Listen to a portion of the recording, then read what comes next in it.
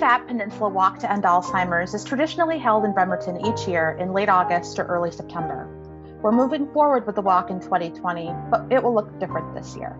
We're committed to ensuring the health and safety of everyone involved. So instead of a large in person gathering, we're inviting people to walk on their own or in small teams of family or friends, while others in the community do the same. That's right. On Saturday, August 29th, people will go online at 10 a.m to watch their local opening and promise garden ceremony.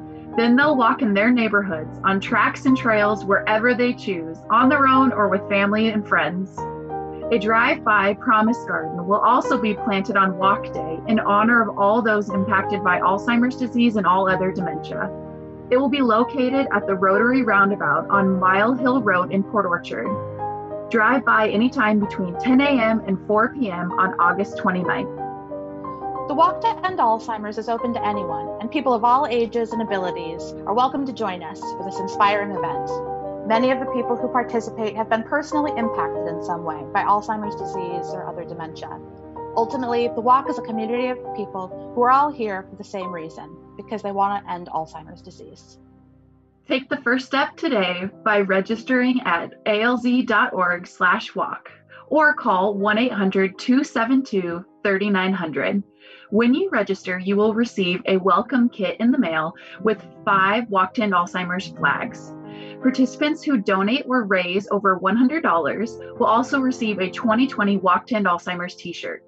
We encourage people to wear their walk shirts, put on their purple, and carry their Walk to End Alzheimer's flags they receive in the mail to help raise awareness about why they're walking.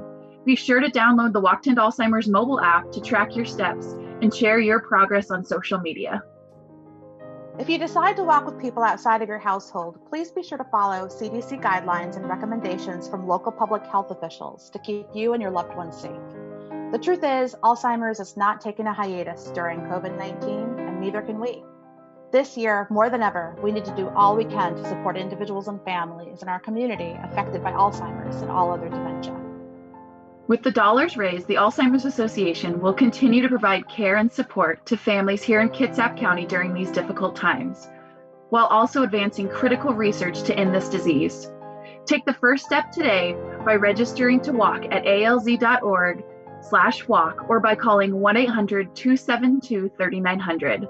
Let's paint Kitsap County purple. Join the movement and walk with us on August 29th.